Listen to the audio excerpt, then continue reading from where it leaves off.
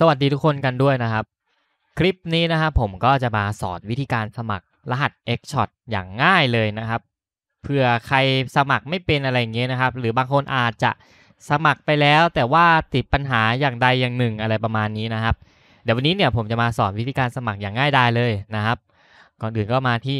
หน้าเว็บ Xshot นะครับ แล้วมาที่ปุ่มสีฟ้านี่ครับ สมัครเล่นเกมนี่นะครับ แล้วเขาจะถามว่ามี Winner VP แล้วหรือยัง เราก็บอกว่ายังไม่มีนะครับ เราก็เลือกเป็นยังไม่มีนะครับ จากนั้นเราก็จะเจอหน้านี้ครับ เป็นหน้ากรอกข้อมูลนะครับ Winner VIP คืออะไร ก็คือ ID เข้าเกมของเรานะครับ ผมจะเอาอันนี้ละกันนะครับ แล้วก็รหัสผ่านนะครับ รหัสผ่านก็ต้องมีตัวเลขหรือภาษาอังกฤษนะครับ เป็นตัวอักษรภาษาอังกฤษ6ถึง12 หลักนะครับ เป็นอย่างต่ำนะ ผมจะเอาแค่ 8 ตัวอักษรก็พอแล้วนะครับ อันนี้ก็ยืนยันรหัสผ่านนะครับ ก็จะเหมือนกับข้างบนเลยนะครับ เราใส่อะไรไว้เราก็ใส่ให้เหมือนกันนะครับ ต่อมาชื่อนามสกุล ชื่อนามสกุลไม่ค่อยสำคัญสักเท่าไหร่นะครับ เราสามารถ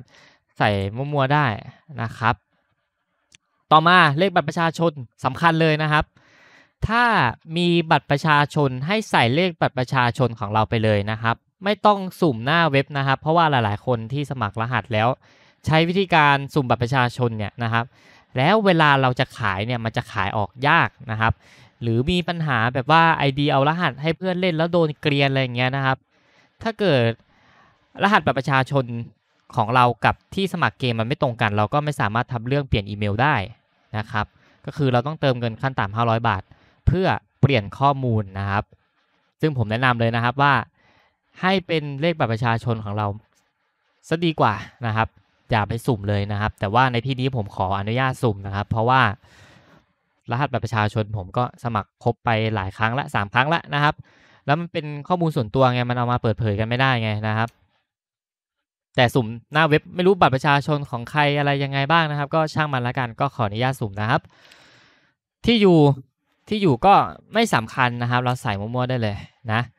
แล้วก็รหัสไปรษณีย์ก็ท่านอยู่เขตไหนล่ะ ของผมก็ 10510มิมโมรี แล้วก็เบอร์โทรศัพท์มือถือเขาบอกว่าไม่บังคับ เราก็ไม่ต้องใส่ก็ได้นะครับ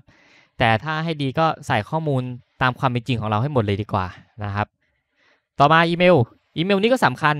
นะครับ อีเมลต้องเป็นอีเมลที่สามารถใช้งานได้ แล้วก็ยืนยันตัวตนได้นะครับ อันนี้สำคัญเลยนะ เพราะว่าเราสามารถใช้ในการเปลี่ยนรหัสผ่านได้ หรือปลดล็อก ID หน้าเว็บเวลาเราโดนล็อก เอาเพื่อนเอาไปล็อกอะไรเงี้ยนะครับ หรือเพื่อนแบบเปลี่ยนรหัสผ่านเราอะไรเงี้ย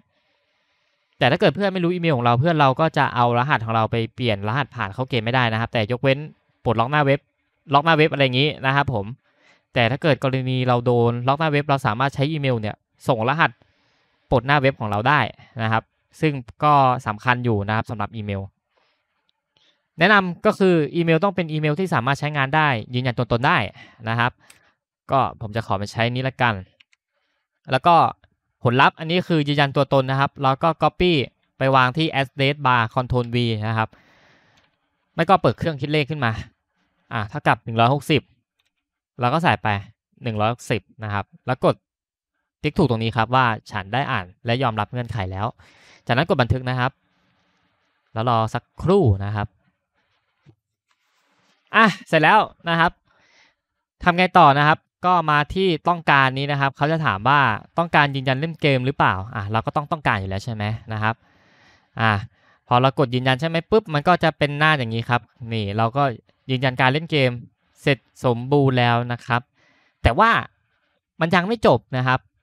เราต้อง activate account ก่อนนะครับ ซึ่งหลายคนอาจจะ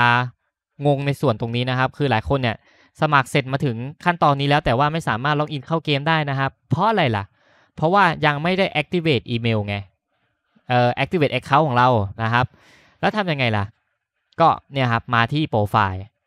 จากนั้นก็มาที่ยืนยัน winner VIP นะครับปุ๊บแล้วเราจะเห็นนี่ครับนาวหนังสือสีฟ้าเขียนไว้ว่าขอรหัสยืนยันในดีนะครับ ให้เรากดคลิกทีหนึ่งนะครับ แล้วเราก็ใส่อีเมลที่เราทำการลงทะเบียนไว้นะครับไอตอนที่เราสมัครรหัสไว้ครั้งแรกนะครับ ก็คือจะเป็นอีเมลตัวนี้กดตกลงไปนี่แล้วจะขึ้นตัวหนังสือสีเขียวนะครับ เขาจะบอกว่าส่งรหัสยืนยันไอดีไปทางอีเมลเรียบร้อยแล้วนะครับ กดกากบาทไป จากนั้นเรามาที่อีเมลของเรานะครับ ของผมจะใช้เป็น Gmail ผมก็จะเข้ามาดูใน Gmail ถ้ารหัสยังไม่ส่งเข้ามาก็กดรีเฟซไปรอบนึงนะครับอะเราก็จะเจอกับข้อความรหัสยืนยัน Winner VIP ของคุณนะครับ คลิกเข้าไป แล้วเราก็จะเจอกับรหัสยืนยัน ID ของคุณคือ 04723622 เราก็สามารถก๊อปแล้วไปวางได้เลยนะครับ แล้วกดที่ยืนยัน Winner VIP นะครับอะอันนี้ก็เสร็จสมบูรณ์แล้วนะครับ มันก็จะปรากฏป๊อปอัพแบบนี้เลยนะครับ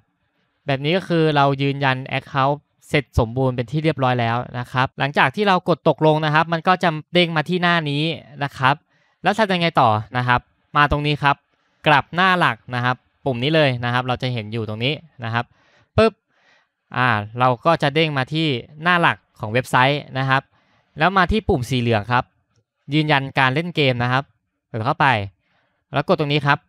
ยืนยันการเล่นเกมปุ๊บแล้วมันจะมีป๊อปอัพเด้งขึ้นมาอีกนะครับว่ายืนยันการเล่นเกมเรียบร้อยแล้ว กดตกลงนะครับ หลังจากนั้นนะครับขั้นตอนต่อไปก็คือ การล็อกอินเข้าเกมดูนะครับว่าสามารถล็อกอินได้หรือเปล่านะครับอะเดี๋ยวผมจะล็อกอินเข้าเกมดูนะครับว่าสามารถเข้ารหัสได้หรือเปล่าอ่าถ้าเกิดขึ้นอย่างนี้แปลว่าเราทำถูกต้องทุกอย่างแล้วนะครับ ก็คือเราสมัคร ID เสร็จสมบูรณ์ทุกอย่างแล้วนะครับนี่ถ้าล็อกอินเข้ามาถึงหน้าสร้างตัวละครผ่านไปว่าเราทำถูกต้องแล้วนะครับ เราก็สร้างตัวละครได้เลยนะครับ ก็ตั้งชื่อเลือก เขตจังหวัดอำเภออะไรก็แล้วแต่นะครับ อันนี้ผมจะตั้งชื่อเป็นชื่อของผมแล้วกันนะครับอะนี่เลยนะครับ นี่ก็คือเสร็จสมบูรณ์แล้วนะครับ เราก็มีตัวละครเล่นแล้วนะครับ ก็คลิปสอนหาของอะไรในช่องผมก็มีทุกอย่างแล้วนะครับ หรือว่าจะเป็นภารกิจรายวันนะครับ แต่ผมแนะนำนะครับว่านี่เลยครับ เติมครั้งแรกนะครับ ขั้นต่ำหนึ่งบาทได้ของตามนี้เลยนะครับ บอกเลยนะครับว่าคุ้มมาก ได้ทั้งปืนคริสต์มาสปืน Barrett คริสต์มาส title ปืนเต่าม่วงเอาไว้ลง PVE แล้วก็สัตว์เลี้ยง แล้วก็ชุดเซตถาวรนะครับ อีกหนึ่งชุดเซตคุณสมบัติน่าจะวิ่งบวก2นะครับ บอกเลยว่าผู้เล่นใหม่นี่คุ้มมากถ้าเติมขั้นต่ำ1บาทนะครับ ก็คือเติม 50 ทรูนะครับบอกเลยแนะนำนะครับผมก็หวังว่าคลิปนี้จะเป็นประโยชน์ให้ต่อใครหลาย ๆ คนนะครับถ้าชอบคลิปนี้นะครับก็อย่าลืมกดไลค์กดติดตามให้ผมด้วยนะครับ เดี๋ยวเอาไว้เจอกันคลิปหน้านะครับสำหรับคลิปนี้สวัสดีนะครับผม